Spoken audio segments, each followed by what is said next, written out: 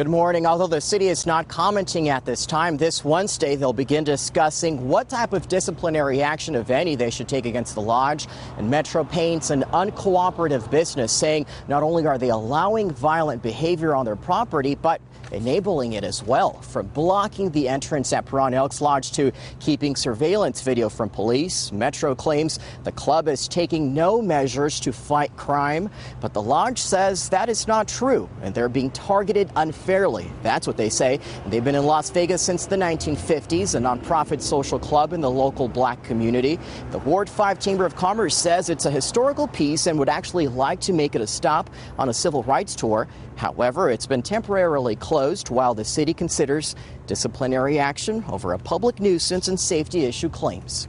I think this is not just a problem with Metro. I think it's systematic with how Las Vegas has treated the black community.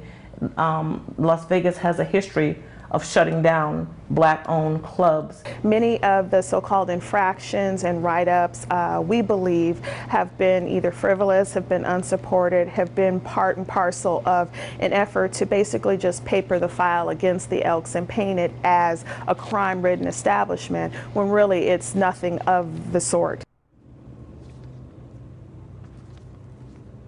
The complaint against the club is nearly 80 pages long, detailing incidents and violent crime and employees not cooperating with investigations, including attempted murder.